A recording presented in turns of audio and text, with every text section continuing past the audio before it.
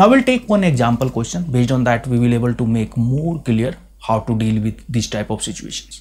Like one uh, situation has given Dhoni average runs after n innings is 65. Means Dhoni has played n innings. We don't know the value of n. n is a variable here. But his average is after n inning is 65. Next inning, very next inning after n inning means you can say it will be n plus 1th inning I am giving you extra information that is not needed here but for clarity of thought I am giving you. This is already this is already understood. Means next inning means n plus one inning he is making 89 runs.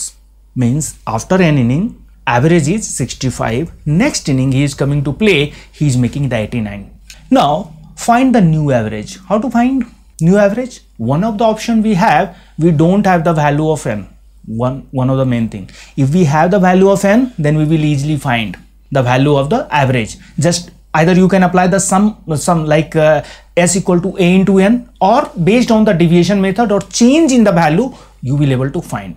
But just suppose your value of n is not given then first we have to ev evaluate how many values of n can be possible.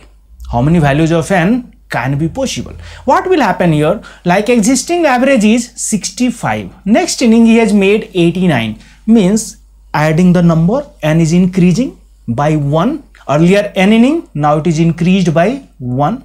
Means n is increasing. Sum will increase. Average will increase or maybe decrease depends on the number whatever we are adding. This number whatever we are adding 89, 89 is 100% sure we can say it is a more than existing average that is 65 if it is more than 65, then what will happen? 65 will go there to settle the average and remaining extra number will distribute to the other numbers. You can say like this is your one box. Now you are bringing the box that is bigger than that. Then what will happen?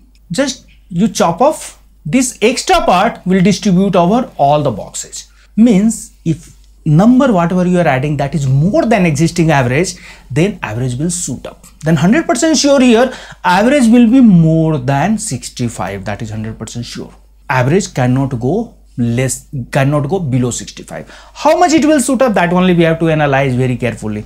89 minus 60 89 minus 65 it is 24 means 24 is extra. 65 will go to that box. Whatever average is there that will settle down. What is extra? 24 24 we have to distribute over n plus 1 inning. How much distribution it will happen? That much average will suit up. That is very simple logic. Means n plus 1 inning happen.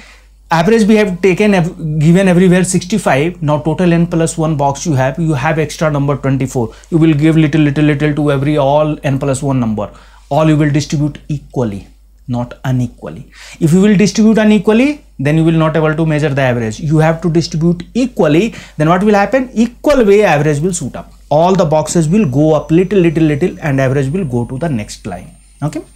Then this 24 will distribute over n plus 1 and what will be the distribution number 24 divided by n plus 1 that each number will suit up by that one. That much amount each number or each inning a score line will suit up. Average will increase by same number. Means earlier average was this one now all number has increased by 24 by n plus 1 average also will suit up by 24 by n plus 1 now issue is we don't have the value of n.